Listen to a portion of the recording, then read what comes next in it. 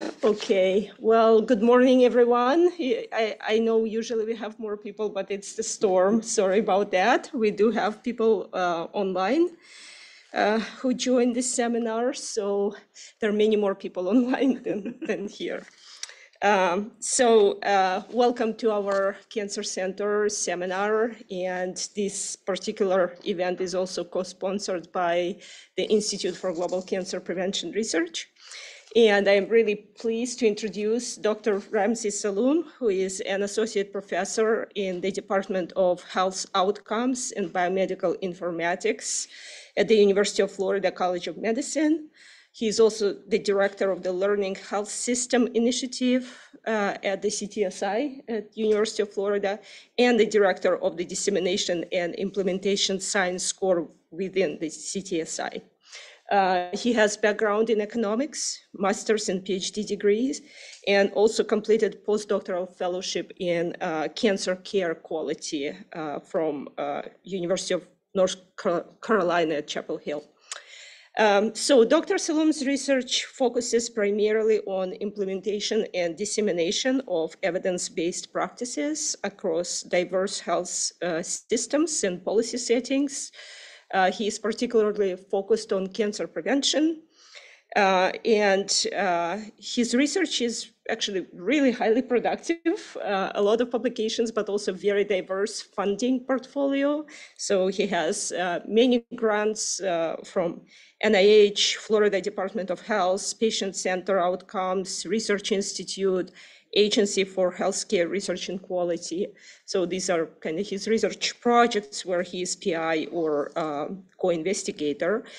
Uh, a significant part is focused on tobacco, but uh, his portfolio is also um, diverse in terms of uh, research areas. Uh, some examples uh, of projects are for example, a multi-level strategy to address disparities in rural HPV-related cancer prevention. Another example, point-of-care intervention to address financial toxicity in families facing pediatric cancer. Uh, so a lot of his research is focused on underserved and vulnerable populations. Uh, in addition to this outstanding research portfolio, he also teaches fundamentals of dissemination and implementation research and has a long list of service roles. Uh, one of our connections is uh, uh, he is now a co-chair of Global Research Network with the Society for Research on Nicotine and Tobacco. Before that, he was chair of the Global Cancer Research Special Interest Group with the American Society of Preventive Oncology.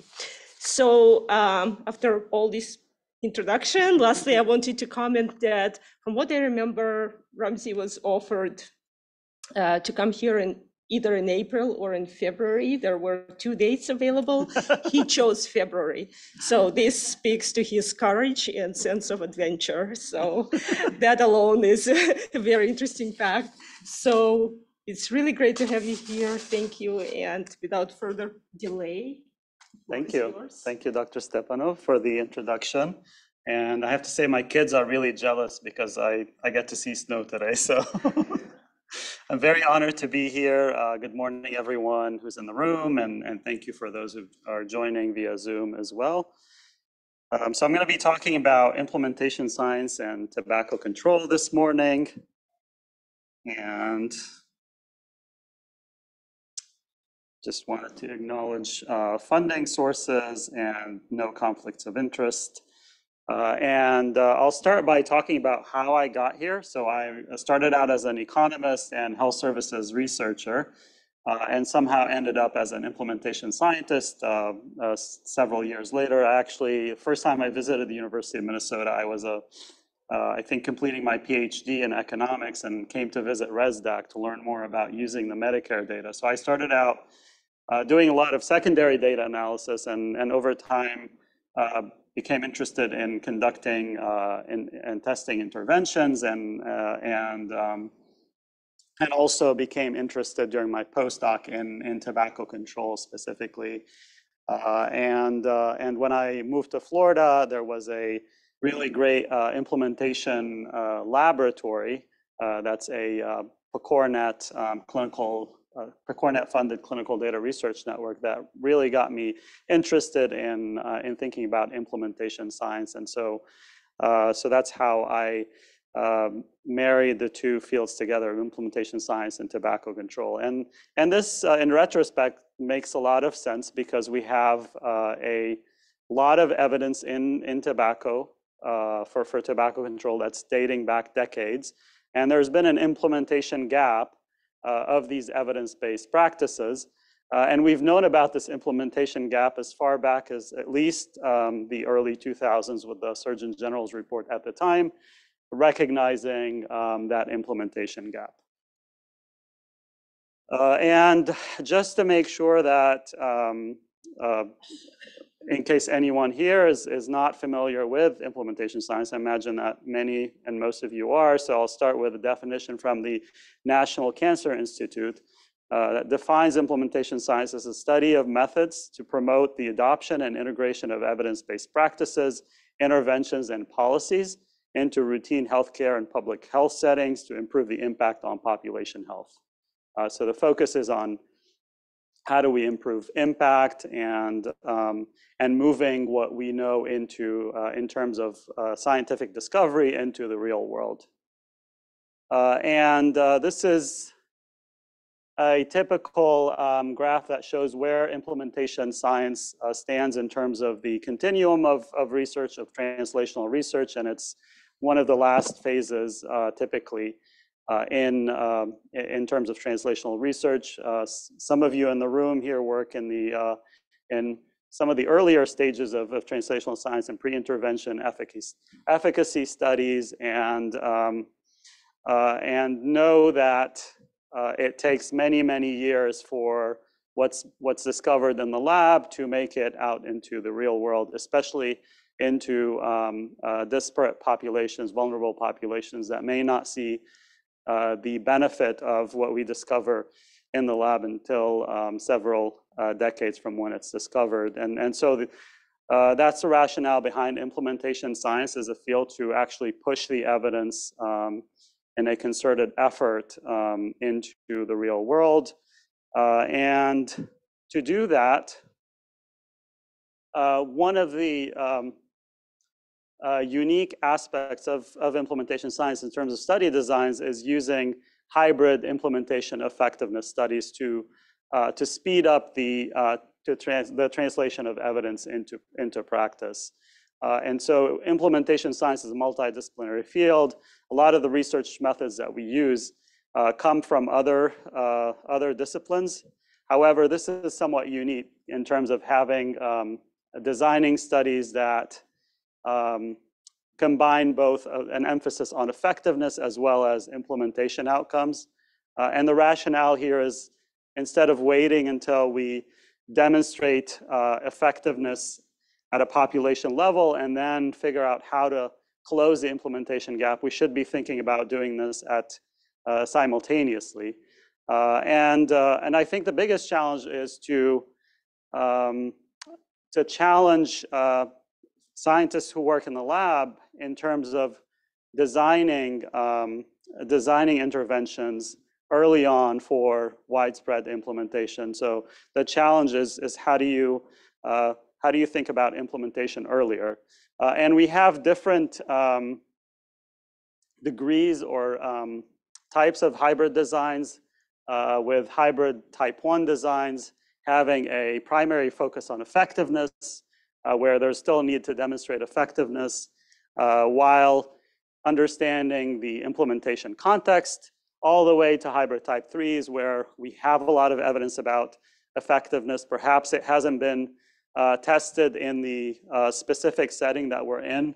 Uh, so we're focusing on implementation outcomes, understanding what strategies are needed and how, which strategies are successful in terms of pushing the evidence out while at the same time still keeping an eye on effectiveness and making sure that uh, the interventions are effective. Um, this is another um, schematic of a, of a subway um, analogy for uh, understanding when to ask the questions uh, in terms of uh, what study design to use. Uh, and it takes, it takes us from uh, looking at the intervention, deciding whether we have uh, evidence of efficacy. Uh, if yes, then we'll move to effectiveness. And then uh, when we're at that point, we can ask our question, uh, our, ourselves whether a hybrid um, effectiveness uh, implementation trial is needed. and, and typically, if we have evidence of effectiveness, then typically either a hybrid uh, effectiveness implementation trial is warranted or a, uh, uh, an implementation trial that focuses on implementation outcomes is needed. Uh, so I'll bring this to, uh, to my research now and uh, have several ongoing hybrid implementation effectiveness trials. and I'll focus on studies in, in tobacco control. So this is um, um, in terms of uh, looking at a, a, study that's focusing on mobile health aids for smoking cessation. Uh, and the scientific rationale for this was uh, basically summarized in the 2020 Surgeon General's report uh, that identified, that was focused on smoking cessation. Uh, the Surgeon General's reports, uh, when they come out, they usually have a thematic focus area. And so uh, the 2020 report was focused on smoking cessation. It recognized that there's a proliferation of, uh, of mobile health aids that um, uh, are in the US and, and across the world, uh, but also recognized that many of them uh, do not have sufficient evidence behind them. and we also don't know how these um, mobile health aids perform against more of the traditional um, uh, smoking cessation treatments like the quit line that has been imp wide, uh, implemented um, across the US and across the world. Uh, so with that research need, we um, designed a comparative effectiveness trial that's been funded through uh, PCORI uh, and um, uh, focusing on evaluating the comparative effectiveness of uh, mobile health options. So one of them is called I Can Quit. This was developed by uh, uh, Jonathan Bricker at the Fred Hutch Institute uh, that uses acceptance and commitment therapy to, uh, to promote smoking cessation. Uh, and it's been demonstrated to be effective in, in several trials. Uh, so we're, use, we're testing I, I Can Quit. we're also testing in a second arm, we're testing I Can Quit with uh, another uh, smoking cessation strategy that has been converted, converted to a um, uh, mobile health aid, and that's um, called Motivate, developed by Jesse Dallery at the University of Florida. Uh, we're combining those uh, two options into one, one app, uh, and we're testing the effectiveness of those two apps against the Florida Quit line, which is, we consider that as a standard of care. Um, so in addition to testing the comparative effectiveness of the interventions, we're looking into how uh, and for whom these interventions work. We have a focus on vulnerable populations um, in the state of Florida. Uh, and we're also interested in implementing this within a system of care. So we're focusing on primary care. Uh, and we want to understand the barriers and facilitators um, to implementing these interventions in clinical practice. And so that's where the implementation component of the trial comes in. Also just last week published the uh, protocol um, uh, for that trial, so it should be available uh, online soon. Um, so these are the, the different arms that I talked about. So I can quit, I can quit plus motivate, which is uh, contingency management. It's um, also an evidence-based intervention that uh, has been shown to be effective uh, to in smoking cessation and other behavior change uh, interventions, and then uh, the Florida Quit line as a um, standard of care. Uh, so this is our natural laboratory where we're doing this research. This is a clinical research network called One Florida Plus. Uh, used to be One Florida, and we've expanded to include uh, the UAB health system as well as Emory uh, health system recently. This has been funded through PCORNet, and the University of Florida serves as the coordinating center, and, and the network is primarily a data research network. We have data on over 20 million patients uh, from more than 12 healthcare systems. Some of them are academic health centers, some of them are not. Uh, and we've also uh, work within this network to, uh, to design implementation trials and, and other types of trials, pragmatic trials. Um, we're focusing in this study on the uh, north central uh, Florida region. That's um, where Gainesville is, that star at the top. Um, and that uh, part of the state is uh, predominantly rural. we also see a lot of tobacco use and a lot of uh, a large burden associated with uh, tobacco use in terms of uh, high prevalence of lung cancer and, and other tobacco-related cancers in, in that part of the state. And we're focusing on two healthcare um, systems, UF Health and a, a, network of federally qualified health centers that will be that we're working with. Um, so in terms of the implementation evaluation, we're using uh, REAIM as a framework. And many of you are, are probably familiar with the REAIM because it's, it's been around for a long time. Uh, it's been used in, in many fields. And what REAIM does is uh, it's a really flexible framework that uh, helps us to think about other outcomes beyond effectiveness. So uh, it, uh, it starts with reach as a primary outcome. So how, how do we reach the targeted population that we're interested in? Uh, but then also goes into uh, outcomes like adoption. Uh, so if we're implementing this in a system of care, we care about what, which clinicians are actually using the intervention, which clinicians are not, uh, what are the differences at the clinician level, at the clinic level, if, if you're working with schools, for example, you could replace clinician for teacher, uh, et cetera. Uh, and then we look at implementation outcomes. Uh, we look at questions related to how well the intervention has been implemented, so things like fidelity. Uh, we also care about implementation costs. Uh, and finally, we want to look at the effect over time of the intervention. Uh, and the reason why this is so important, so this um, so REAIM was uh, originally developed by Russ Glasgow, and, and this recent paper by Russ Glasgow and colleagues uh, has this table that really demonstrates how uh, REAIM works to measure population impact and why is it so important. Uh, so if you take an intervention that, let's say, is 50% effective, and we know, for example, from smoking cessation that um, there's really no intervention that is that effective uh, or demonstrated to be that effective. Um, so hypothetically, we have an, uh, an intervention that's 50% effective. If we take that intervention and then implement it in the real world, uh, and we consider that uh, we're implementing this in clinics, only 50% of clinics are going to decide to use the intervention. Now that impact has been cut by half, uh, and then within each clinic, if we assume that only half of the clinicians uh, decide to use the intervention and the other half does not, then we also cut that impact by half. Um, same thing if we look at patients and see which patients decide to use the intervention, which do not. Um, all of a sudden, we're dropping from a, uh, from a um, intervention that has been shown to be 50% efficacious in the laboratory to an intervention that only impacts 1.5% of the population.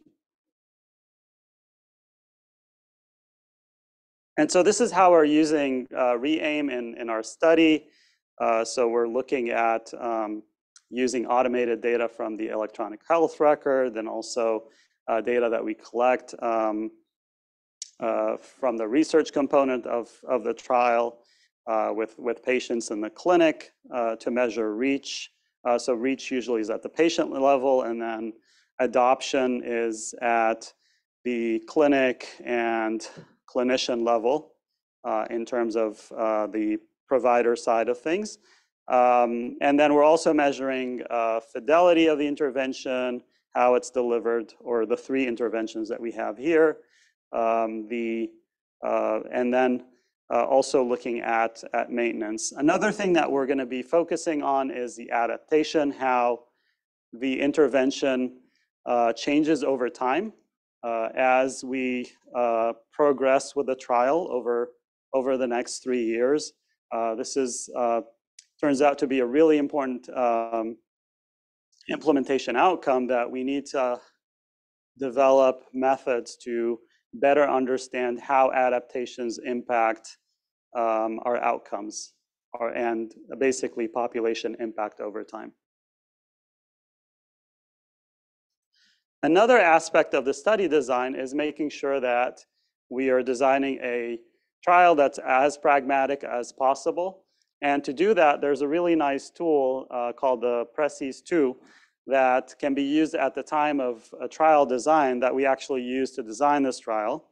Uh, and so it asks you questions about um, uh, uh, with respect to the design. So we start with eligibility, for example, who is selected to participate in the trial.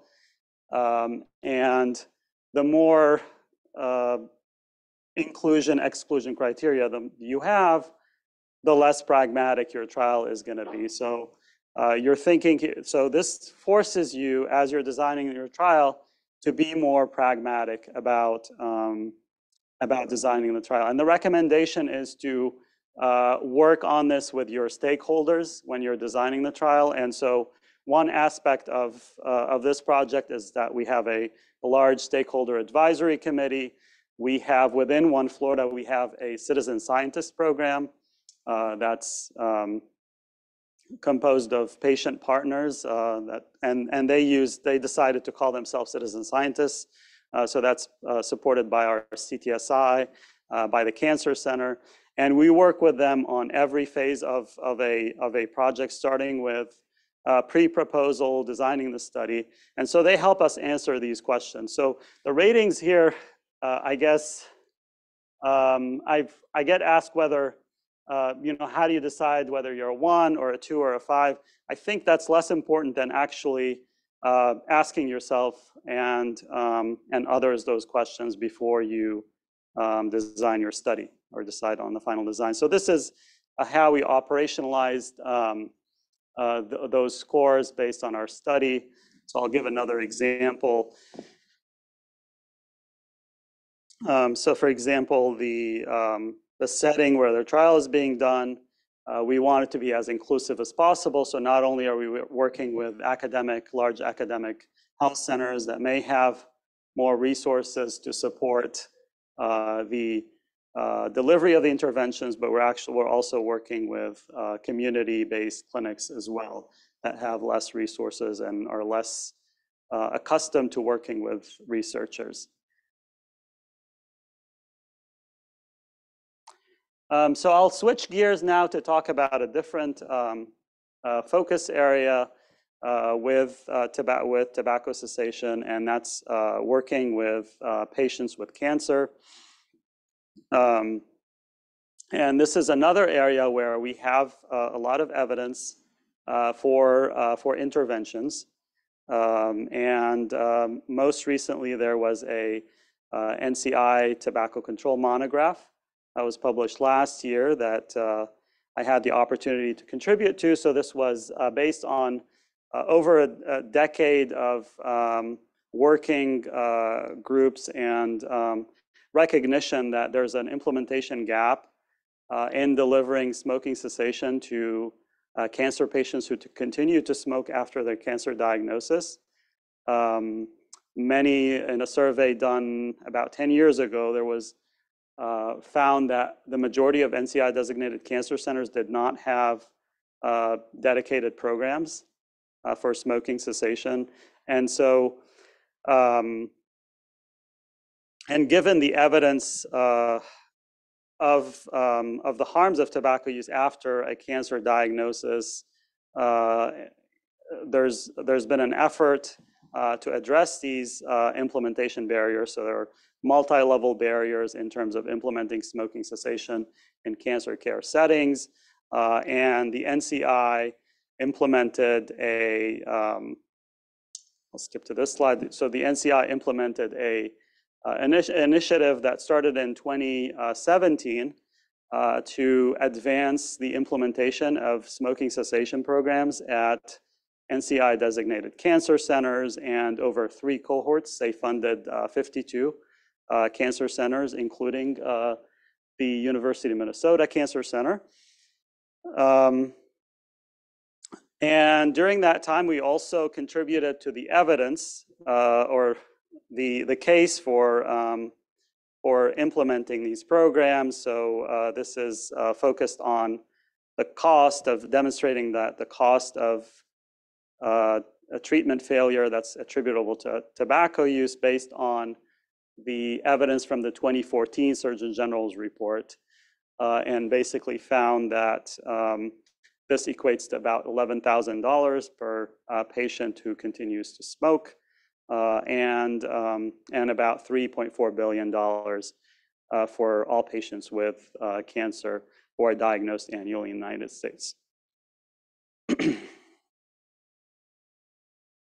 um, so, uh, so at, um, at UF Health, um, even though we weren't part of the uh, C3I, um, we also uh, implemented similar uh, programs to, to better understand the implementation gaps, and we found similar uh, types of uh, barriers to implementation of, um, of tobacco treatment um, at our cancer center. We've also looked into um, the EHR documentation of, um, of tobacco use and, and found barriers also in uh, documentation uh, that was um, compared to the uh, tumor, the uh, tobacco use status in the tumor registry. We use that as a, as a gold standard, so we were able to compare what we had in EPIC versus um, what's what's actually documented in the tumor registry, and and um, found differences in terms of um, better documentation for tobacco-related cancers and uh, other cancers. Um, and, um, and so some of the interventions that are used in EPIC in terms of the automated referral are things that we have implemented locally as well.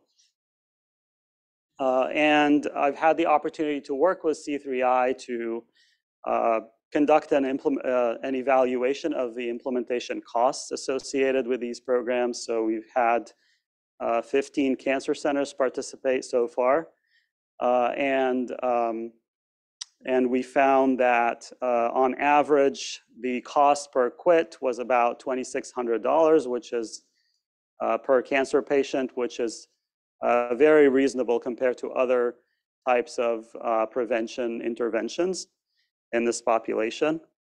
Um, and the way we did this was looking at uh, the different programs that uh, these cancer centers had implemented. And this was a pragmatic approach that NCI took in terms of not dictating what each cancer center uh, offered in terms of um, in terms of their smoking cessation program. So we saw very uh, different uh, types of uh, treatment strategies implemented across the cancer centers. And this was actually not a, a research project, this was an implementation initiative. Uh, so that made sense. Um, and we focused on uh, really the operation costs associated with keeping the program running after it had been uh, implemented. And we, we also for, for some cancer centers, we also looked at um, the initial implementation costs as well. Uh, things that you don't measure in terms of uh, the implementation costs in this case are uh, research-related costs because those would not be um, necessary if you're replicating this type of program somewhere else. Uh, and we looked at um, costs from the perspective of the tobacco treatment program or health system uh, implementing the tobacco treatment program. And so we also, we found that most of the costs were uh, associated with personnel, about 90% across the board uh, of the implementation costs were uh, personnel costs, but we also captured costs related to medications, to education and promotional materials, uh, staff trainings, uh, and uh, technology, um, any EHR modifications, for example, and also equipment and space. Uh, we're continuing to work with those data, and uh, we currently have uh, a paper under review that is looking at the efficiency or the performance of uh, these programs relative to each other. So we were able to use a method called data envelopment analysis, which is a mathematical optimization technique that's used in um, uh, economics and, and industrial engineering to look at the, um, the ratio of inputs to outputs in a, in a production function and be able to compare uh, programs against each other uh, in terms of uh, inputs and outputs simultaneously. So we're looking here at um, cost per patient as our, um, our input, and then we're looking at program reach and effectiveness um, uh, as our outputs from the programs or our outcomes. Uh, and um, what we see, first of all, this is not um, what you typically see in, in, typical examples of these because we have an outlier. Program one at the top is uh, the most efficient and uh, by far compared to some of the other programs in terms of both reach and effectiveness. Uh, so the way to read this is that the closer you are to the origin, the less efficient uh, the program is, and the further away, um, the more efficient. Uh, and, and so we have, we can then go back and look at these programs in terms of their characteristics. Uh, for example, how many um, tobacco treatment specialists they had and some of the other inputs that they use, what types of strategies they uh, delivered. Um, uh, and see where they landed in terms of their relative efficiency.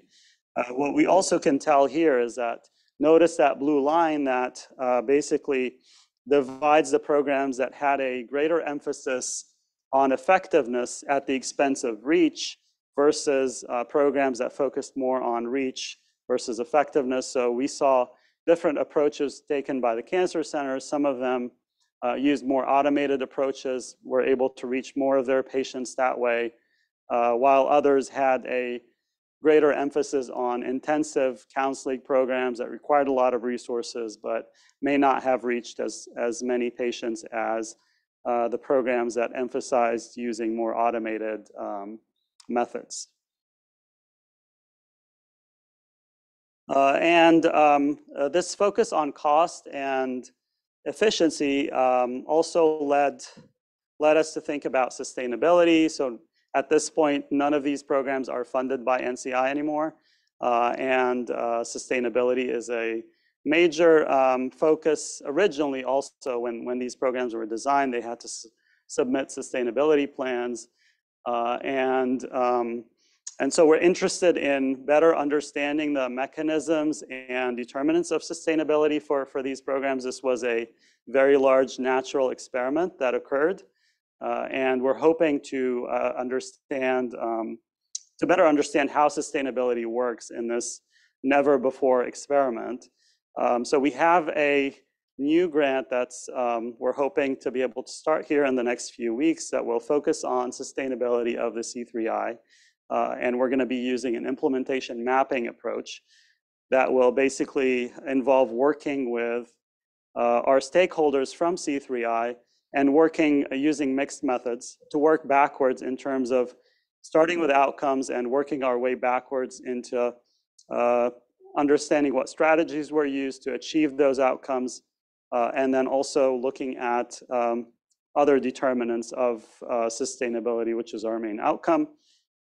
And what we hope to produce from that project is a toolkit that can help cancer centers uh, develop sustainable uh, tobacco treatment programs.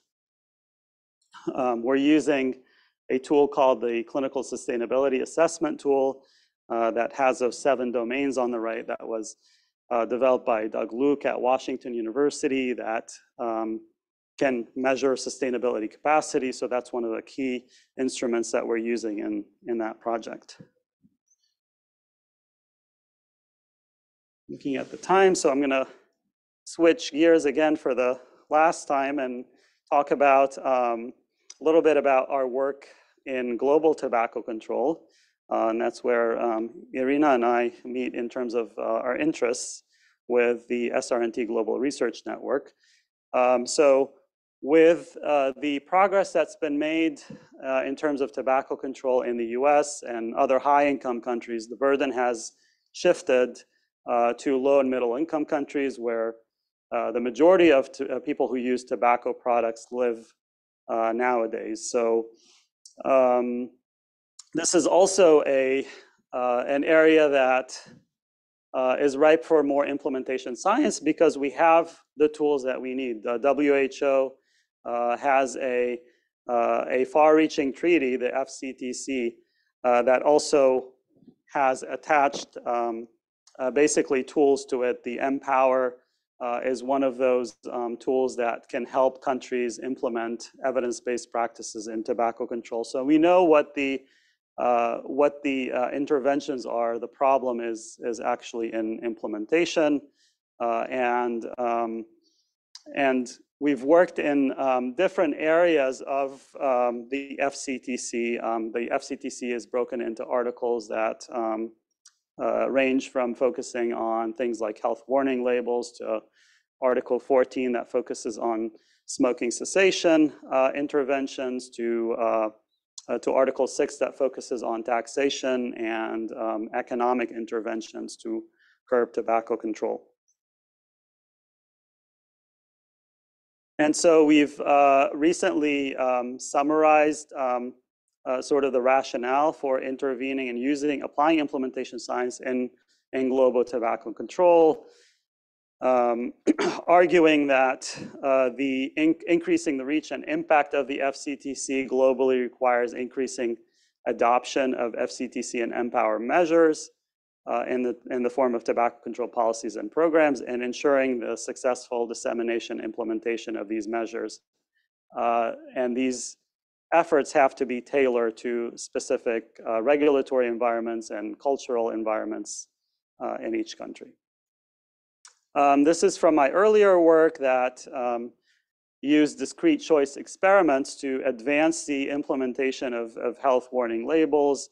Um, so discrete choice experiments are a survey-based uh, technique that um, uh, uses repeated measures to better understand preferences. So we've used them with um, uh, people who smoke uh, to better understand how they react to um, to tobacco products and, and their packaging, but also to health warning labels. Um, and, and so uh, we've done this, we've done some of this work with my colleagues in the US as well as uh, other countries in, in Latin America. Uh, and, um, and also uh, published a systematic review uh, on using uh, discrete choice experiments as an implementation science, science tool to help us better understand stakeholder um, perspectives when implementing uh, new interventions. Um, we've also recently focused on the transfer of uh, the interventions and their ad adaptability from a high income country where most of these uh, evidence-based interventions are developed to where they're needed nowadays in low and middle income countries and other low resource settings. Uh, and so we took this, this implementation science framework that focuses on the transfer of interventions and, and their transferability uh, and um, recently focused on how this, this is applied in, um, in cancer control interventions and global cancer uh, prevention control, provided examples uh, in, in this article of, of how this is uh, done in collaboration with partners in, in LMICs. and so the, the region that I focus on in, in my work is the Eastern Mediterranean region. Um, and uh, this is uh, actually happens to be the only region uh, in terms of the WHO regions that is expected to have a projected increase in tobacco use overall uh, by 2025 uh, and has very low um, implementation rates in terms of the FCTC and, and MPOWER measures. Uh, this region, as you know, has uh, suffers from uh, major political instabilities and, and very weak public health infrastructure and, and other, um, other infra infrastructure weaknesses. Um, and uh, also unique to this region is the specific use of water pipe tobacco use um, that is as prevalent uh, and in some, some, some places more prevalent than cigarette smoking. And so we've developed uh, a, a, suggested a regulatory framework for water pipe tobacco that um, uh, focuses on the unique aspects of, of tobacco use, which in, in that part of the world, it's used on a daily basis. So uh, the specific uh, burden from water pipe tobacco is, um, is really high uh, in that region compared to um, in the United States, where it's used more um, on an irregular basis. Uh, and we've also worked in the area of um, uh, focusing on developing the uh, economic evidence for uh, intervening with water pipe tobacco, um, based, basing our research on the uh, NCI's work to summarize the evidence on the economics of tobacco control in general, uh, which with the 2016 monograph focused on um, you know, stating that uh, the adjusting or intervening with the price of tobacco is perhaps the single most uh, consistently effective tool for uh, reducing tobacco use. And so with funding from the International Development Research Center in Canada and Cancer Research UK, uh, we've um, conducted surveys in uh, three countries in, in the region uh, to first collect the, uh, the data on surveillance, which didn't exist. Uh, we didn't have contemporary data on, on uh, tobacco use um, in these countries. And then we used discrete choice experiments to model the demand um, for tobacco use, focusing on cigarette smoking and water pipe tobacco. and we were able to, with, with these surveys, then uh, calculate the price elasticity uh, of, of each uh, tobacco product uh, and, and also look at cross price elasticity, uh, which gives us an idea whether these products are used as substitutes or whether they're used in tandem when uh, the price of a tobacco is changed due to more um, taxes.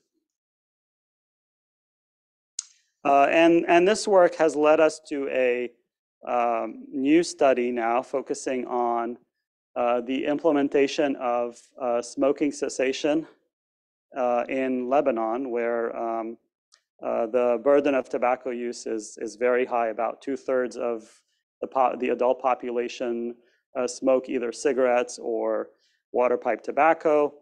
Um, and, um, and so we're working on uh, testing uh, evidence-based interventions from the FCTC and, and, and from the WHO um, uh, within a system of care there, the primary healthcare system. Um, and uh, so our project aims are to adapt an existing smoking cessation program at the American University of Beirut that serves that community uh, to be able to serve the, the public primary healthcare system uh, in, in the country. And we're modeling this as a, a sort of a quit line uh, type uh, intervention that would be linked to uh, patients in the primary care setting. Uh, and so we're going to follow that with a trial of the effectiveness of, of the different interventions and um, their cost effectiveness. Uh, and I'll show that in the next slide. And then also, this is a hybrid implementation effectiveness trial, so we'll be uh, also focusing on implementation outcomes, including the sustainability of, um, of these interventions, working closely with the uh, Ministry of Health there. Um, so these are the interventions that we're testing. We have three arms. Um, the first one is the standard of care, which is ask, advise, assist um, given that there isn't a functional quit line in, in the country. Uh, and, um, and then we're going to test that against Ask Advise Connect, uh, which will connect patients to, to the quit line. And because we're working in a low resource setting, we're also going to be testing the effectiveness and cost effectiveness of nicotine replacement therapy. Even though this is standard of care in a high income country like the US, we want to make sure that the incremental benefit of uh, using nicotine replacement therapy in a place where it's not readily available and is um, not always affordable is actually cost effectiveness in, in the setting. So that's why we have a third arm for that. Um, uh, and we have these interventions operating at multiple levels at the clinic, provider, and patient level because we have, uh, again, a multi-level problem, just like with uh, the other uh, examples that I discussed earlier. Um, and this is our conceptual model. We're, fo we're, focusing on smoking abstinence at six months as our primary outcome. Uh, on the left, we have our intervention components operating at the clinic, provider, and patient level.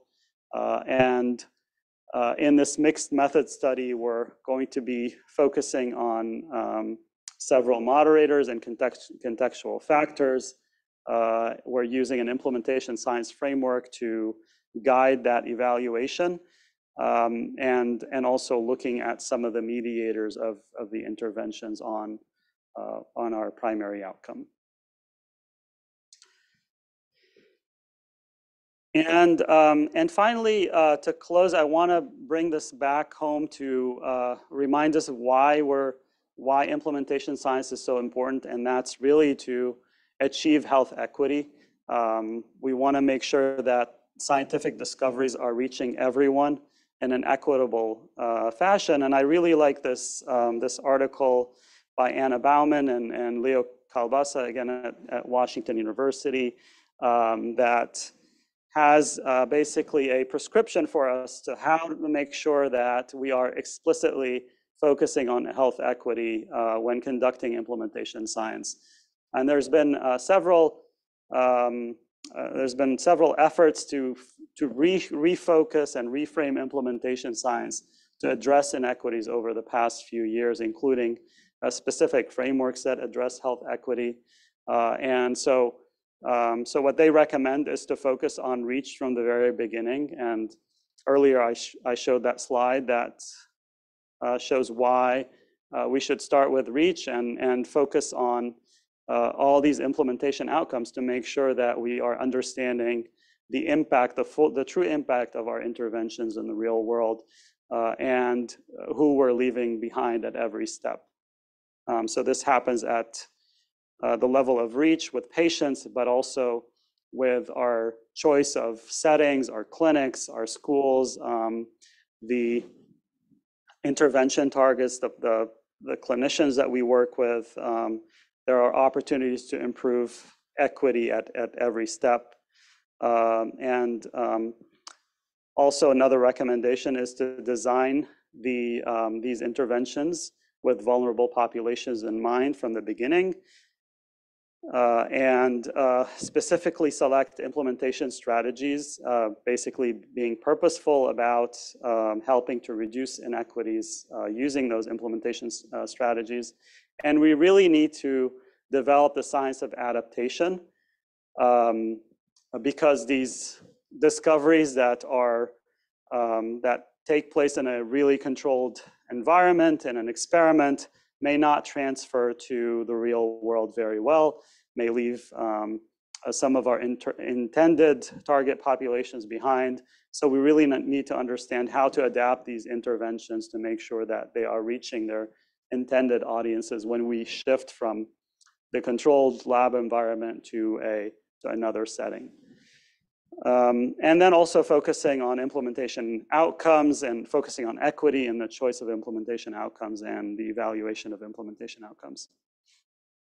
Um, and uh, so one of the um, um, efforts I've been involved with is a working group uh, on at the intersection of economics and implementation science that's developed several um, uh, papers over the past um, two or three years uh, and one of these papers was focused on the economics of adaptation. We, we don't have um, really good methods yet uh, in terms of how and, and also uh, what to focus on in terms of measuring adaptations, but thinking about, um, when conducting an economic evaluation, thinking about the different um, uh, pieces of, of, um, of the puzzle, focusing on, uh, you know, when you basically dichotomize the, uh, the uh, intervention, the implementation strategy, and then the downstream costs of, of, um, of the evaluation, then you can start thinking about where the adaptations are occurring and recognizing that adaptations are uh, the rule rather than the exception, that you are going to have adaptations when you implement an intervention in a new setting. Uh, and this is something that's going to be dynamic over time. Uh, but then understanding what adaptations are occurring to the intervention uh, and what adaptations are needed to your implementation strategy over time, uh, and then how that affects the downstream costs related to uh, the consequences of, of your intervention. Um, and finally, I'll close with this um, uh, quote that recognizes the role of adaptations and recognizes that we should um, uh, act early, uh, which is uh, the impetus for, for having hybrid uh, implementation effectiveness designs. we have to do the best we know at the moment, but realize basically that adaptations will be needed um, over time. So thank you and happy to answer questions.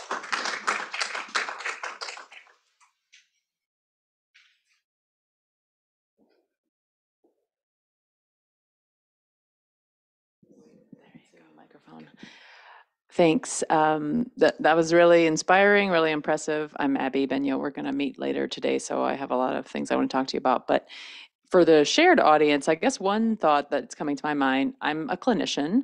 Um, and, you know, some of the threats to sustainability and adoption that you talk about in, in tobacco cessation uh, in the United States that are coming to mind are policies related to reimbursement for treatment, right? In a clinical setting and then also you know burnout amongst primary care providers. I mean i think uh, there, lo- there are a lot of ways that which we want to help primary care providers improve. I study lung cancer screening so it's kind of similar to this but those two areas seem to be real threats to us making a whole lot of progress in the real world. What are your thoughts on those? Are you going to be able to solve those for me this morning? Yes. No just kidding. Yeah i don't think um, so we've been talking about these uh, things over the past five years with C3I. We have uh, all these working groups. Um, uh, I mean, one thing about sustainability is that we have to align our interventions with our different levels of, of our settings that we have, our environments. We have to align, we have to make sure that um, what we're proposing as a solution is aligned with our internal organizational setting, but also with, with the external policy environment. Uh, and unfortunately, those things aren't always aligned. And um, uh, and um, so that's, I mean, that's sort of where things need to be headed. Is is continuing to adapt what we're doing to um, to align with first the policy environment. Um, hopefully, there will be uh, efforts to uh, change the reimbursement model, uh, especially in the oncology setting. It doesn't make financial sense to address tobacco use. Other ways to intervene are to um, to extend the intervention outside of the clinical encounter because of physician burnout, because of the just the the um, uh, the competing priorities in a clinical setting, uh, and so um, as our technologies improve and the reach of these technologies improve and, and they become more equitable, uh, there's an opportunity to um, uh, do do more things with the patient portal, with with the electronic health record that will help us extend the um, the reach of of the clinic or what's being done in the clinic. Uh, so, so both of these things I think are really important over time. I, hi, I'm, I'm Doug Yee. I'm the Cancer Center Director. This is a variant of Abby's question. So we we were a C3I pilot site, and I think one of our former faculty members, Anne Joseph, ran a pretty successful program. And when the NCI funding ended, we went to our hospital system and said, "See, this works. Can you help support this?" And they basically said no Um, I don't know if Dorothy has a better memory of it than I do, but they basically said no. So anyway, that's the framing, the example, but the fra- the question I really want to ask, whose economic interest is it to get people to stop smoking? Obviously, the economic interest of people to start smoking, continue smoking is obvious. And you know, when I'm wearing my most cynical hat, I say, well, you know, the healthcare system doesn't really want people to smoke. Abby's business, my business, is sort of dependent on tobacco. Um, Big Pharma, I don't think wants people to stop smoking either. Otherwise, they wouldn't keep making drugs uh, for you know various lung cancers and head and neck and bladder cancer. So, who should be paying for this? Who should be responsible? I mean, you know, one obviously is the federal government, but I would say insurance companies they, have never supported this effort either, which I think is in their economic interest. So anyway, what's your what do you how do you think we should get this funded? Ab- uh, yeah, so absolutely. So so you're right that in in terms of um, the uh, healthcare delivery system, sometimes there's a disincentive for them to to get people to stop smoking uh, financially, uh, and um, uh, same thing with with uh, insurance companies because they often don't um, keep the patient long enough to to reap the benefits of um, of smoking cessation um, at least in, in, in the uh, US healthcare system, that's a really difficult um, question to answer. Uh, there's been efforts by my colleagues in, in Canada and Australia and other places that have been more successful recently in terms of focusing on, on cancer, addressing smoking cessation cancer uh, patients. Most notably in, in Canada, there's been a uh, now a, a, a national effort to implement um, similar program across the provinces that has been uh, very successful. Um, so, so here in the U.S., I think it has to go beyond the economics. It has to be. Um, uh, I think we have to get the message out about uh, basically um, doing the right thing and and um, and basically making this associated with the image of, of the healthcare system in, in terms of uh, something that uh, becomes a competitive advantage, that this is something that they have. So uh, we have a long way to go. And then obviously, if there are financial incentives uh, built into reimbursement, um, then that may be another way, um, starting with, uh, with, with public insurance, with Medicare, uh, Medicaid, in, in each state, um, but it's, it's much more difficult to do in the US. All right, if there are no more questions, oh, Chris? Yeah, the, um, I'm a basic scientist. I don't have a, you know, clinical trials background or anything, but it seems to me that it, it, it- with your implementations, uh, trials, it, it's not one size fits all, is it? I mean, you've got different vulnerable populations that you're trying to target. So how do you account for that heterogeneity? Do you have slightly different approaches for different populations, or, or do you then just try to parse out it worked for this group and not for that group? Um, yeah, so that's that's a great question. I mean, recognizing that um, this is why adaptations are are, are really important. Uh, I think in, in implementation science, the concept of of understanding what's being adapted um, when you take an intervention to a new setting. Um, there's also uh, the recognition of understanding what are the key ingredients to to an intervention. So really understanding the core components, and I think that was on the slide on the economics of adaptation. Uh, it's probably really small, I can't see it, but um, basically understanding what are the core components of an intervention, what are the active ingredients that are leading to the outcomes, and then you have the the the periphery that's adaptive that you're able to adapt and repackage in a in a new setting. Uh, I think this is really important and difficult to do with uh, perhaps quantitative methods alone, and that's why we use a lot of mixed methods to to understand um, the core components of an intervention and what the adaptive periphery is. Are there any other questions? And let's go ahead and say thank you one more time to Dr. Salloum. Thank you.